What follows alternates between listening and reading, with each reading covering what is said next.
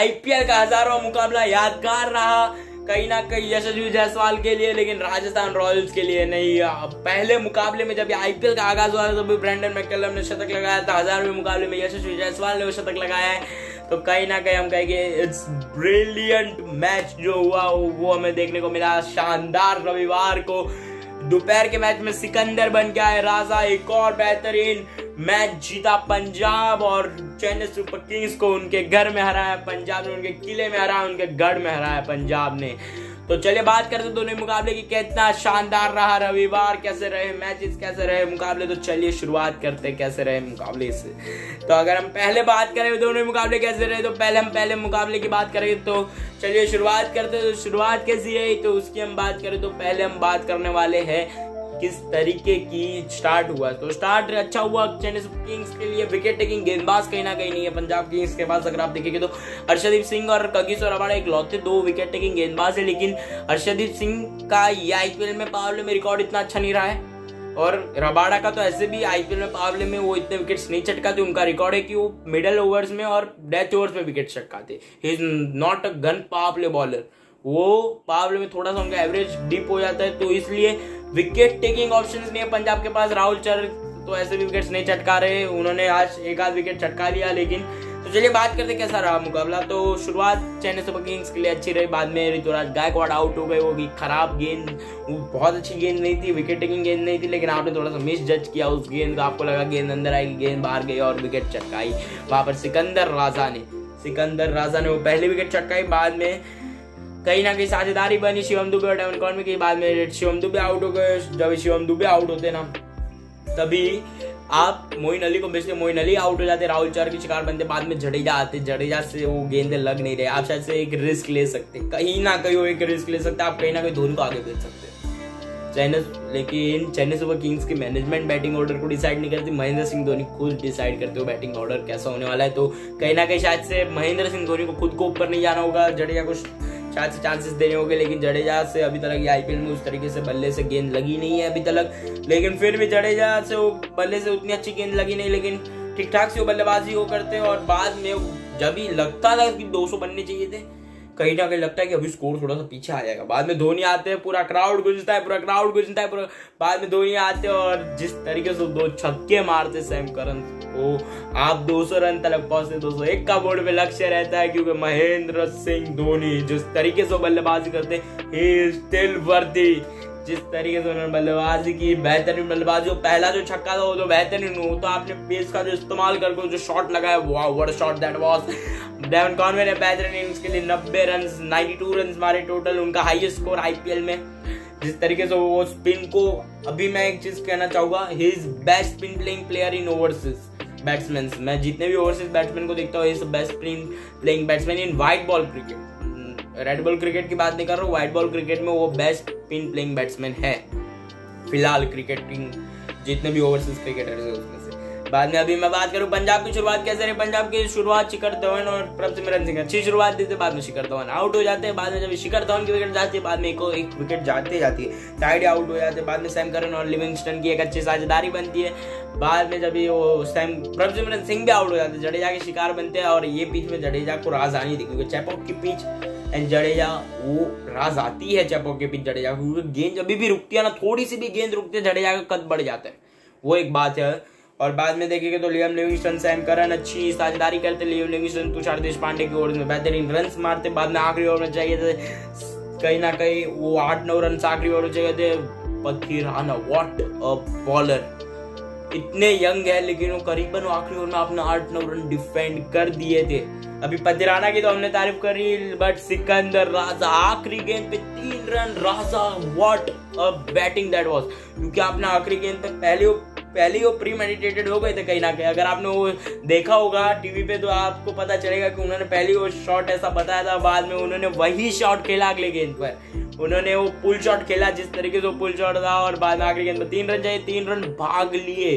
वो एक बार और अगर हम ये मैच की बात करें तो एक शेख राशिद ने शायद से कैच पकड़ा तो उनका पैर फिसल गया तो बाउंड्री लाइन तक क्या हो गए थे, उनका पैर क्या लगा था या नहीं लगा था क्लोज क्लोज कॉल था, एकदम और उसमें अंपायर ने बोला नहीं लगा था मुझे कहीं ना कहीं लगा कि वो शायद से पैर थोड़ा सा थोड़ा सा टच हो गया। ऐसा देखने में लग रहा था I am not perfectly saying कि लगा ही था I am not surely saying कि वो लगा था। सो so, ये मेरा बस डिसीज़न है कि शायद से लगा था थोड़ा सा शायद से टच हुआ था भले हो हिला हो या ना हिली हो वो जो बैनर था वो लेकिन शायद से लगा था। बॉल, लेकिन वो छह रन दिए नहीं गए। लेकिन बाद में सिकंदर राजा ने मुकाबला जीता। पंजाब को all is well when it's ends well और अच्छे से समाप्त हुआ ये मुकाबला। पंजाब किंग्स ये मुकाबले को जीती। चेन्नई सुपर किंग्स को उनके गढ़ में हराया। बाद में शाम का मुकाबला, शाम के मुकाबले में ये आईपीएल का हजारवा मुकाबला था, और हजारवा मुकाबला आईपीएल का कैसा रहा? हजारवा मुकाबला आईपीएल का ज़बरदस्त यादगार मुकाबला रहा। जिस तरीके से यशस्वी जायसवाल ने इनिंग्स खेली ओपनिंग में what an innings Jos Buttler बाकी सारे बल्लेबाज लगातार आउट होते गए, लेकिन यशस्वी वाले ज़ोर से लगातार बने रहे। 124 रन उन्होंने मारे 124 रन उन्होंने मारे, जिस तरीके से उन्होंने बल्लेबाजी की वॉट बैटिंग दैट वॉज़ क्योंकि जिस तरीके से वो हर एक शॉट पीयूष चावला को आपने दो शॉट लगाए, एक तो पीयूष चावला को पुल शॉट आपने लगाया। वाह वाह, क्या ही शॉट था वो तो मतलब। पीयूष चावला भी एक बहुत बड़े पॉजिटिव है एमआई के लिए, जिस तरीके से उन्होंने गेंदबाजी की, हर एक मैच में एक दो विकेट्स ले रहे हैं। सो हिज बॉलिंग ब्रिलियंट मैं कहूँगा।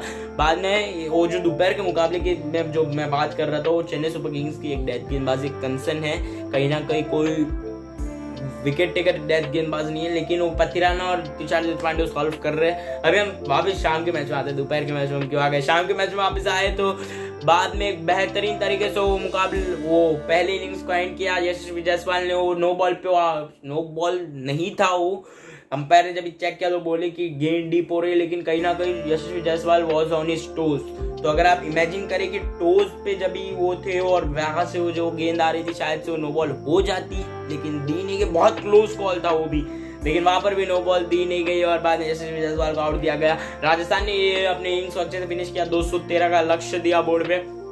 शुरुआत एमआई के लिए अच्छी रही नहीं, रोहित शर्मा का था और रोहित शर्मा के लिए बल्ले से तो यादगार दिन ये रहा नहीं। जो रोहित शर्मा आउट हो गए, बाद में अगर हम बात करें रोहित शर्मा की, जब भी विकेट चली जाती है, बाद में आते हैं, कहीं ना कहीं अगर हम बात करें तो कैमरन ग्रीन आते हैं और कैमरन ग्रीन जिस तरीके से बल्लेबाजी करते हैं बेहतरीन उनकी बल्लेबाजी रहती है कैमरन ग्रीन की, और अच्छे से बल्लेबाजी कैमरन ग्रीन करते हैं, और जिस तरीके से वो कैमरन ग्रीन शॉट्स खेल रहे थे, बेहतरीन शॉट ईशान किशन ठीक से शॉट्स खेल रहे थे, ईशान किशन आउट हो गए, बाद में सूर्य कुमार यादव आते Surya Kumar Yadav was playing like Surya Kumar Yadav, क्योंकि जिस तरीके से वो पुराने जो सूर्य कुमार यादव होते हैं, वो वैसे खेल रहे थे कहीं ना कहीं। तो अगर आप देखेंगे तो सूर्य कुमार यादव की बेहतरीन इनिंग्स थी और बाद में लगा कि मुंबई का ही मैच हो गया। बाद में सूर्य कुमार यादव आउट हो जाते हैं ट्रेंड बोर्ड की गेंदबाजी पे ट्रेंड बोर्ड की गेंदबाजी में सूर्य कुमार यादव आउट होते हैं। बाद में लगता है कि राजस्थान ने वापस ये मुकाबले को खींच लिया।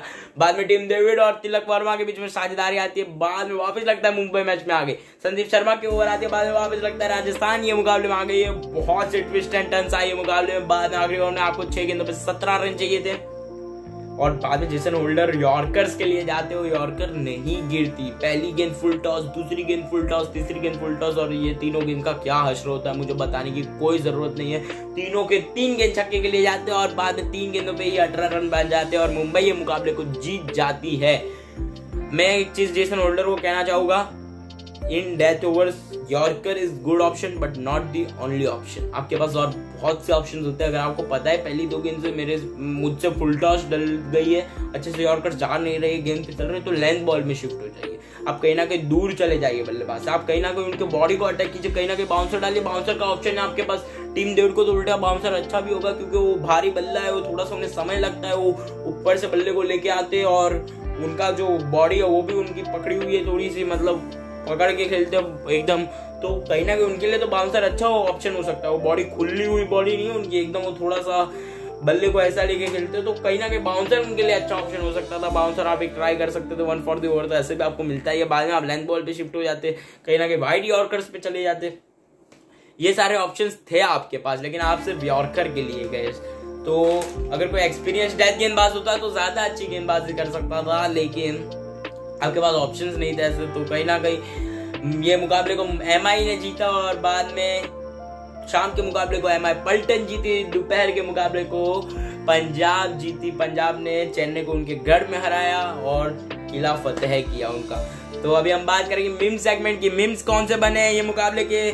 मिम्स बने दोनों ही मुकाबले के। तो चलिए बात करते हैं मिम्स के बारे में। अभी हम बात करें तो पहला मिम अगर हम देखें you have impress god team they will take a बिल्कुल आपने सचिन तेंदुलकर को इम्प्रेस किया, अपने बल्लेबाजी से बाद में अगर हम देखें आर आर फ्रेंच होल्डर थोड़े से गुस्से हो गए, गुस्सा हुए हो गए फैंस क्योंकि तीनों के तीन full toss you can't afford it in final overs क्योंकि आपको अलग अलग चीज़ें ट्राई करनी चाहिए तो मुझे ऐसा लगा पर्सनली बाद में अगर हम एक और बात करें तो सिकंदर बाहुबली राजा, जिस तरीके से उन्होंने बल्लेबाजी की, बिल्कुल बाहुबली ही बने हुए थे। बाद में अगर हम एक और मीम देखें तो ये मीम था the perfect day of cricket doesn't exist बिल्कुल एग्जिस्ट करता है जी परफेक्ट डे ऑफ़ क्रिकेट जिस तरीके से ये मुकाबले हुए दोनों, बेहतरीन मुकाबले क्रिकेट के।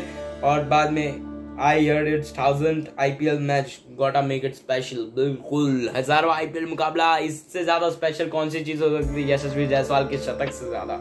बाद में अगर हम फन फैक्ट के बारे में जाएँगे यंगेस्ट सेंचुरियन इन आईपीएल में यशस्वी जायसवाल फिफ्थ नंबर पे आते, पहले में मनीष पांडे आते, दूसरे में ऋषभ पंत आते, तीसरे में पडिकल आते, चौथे में यशस्वी जायसवाल आते, चौथे नंबर पे यशस्वी जायसवाल आते। हैं तो आज के लिए सिर्फ़ इतना ही। वीडियो को लाइक कीजिए चैनल को सब्सक्राइब कीजिए बेल आइकन दबाइए सबसे पहले जो क्रिकेट रिलेटेड अपडेट्स आप तक पहुँचे, ये दोनों ही मुकाबले एक जीती मुंबई, एक जीता पंजाब तो पॉइंट टेबल में बहुत से फ़र्क बदल हो गया पंजाब कहीं ना कहीं पाँचवें नंबर पे आ गई, बैंगलोर को छठवें पे टकेला। आज बैंगलोर का मुकाबला है तो बैंगलोर अगर मुकाबले को जीती है तो और ऊपर आ सकती है। लखनऊ का, लखनऊ अगर जीती है तो शायद से टॉप पे आ जाएगी।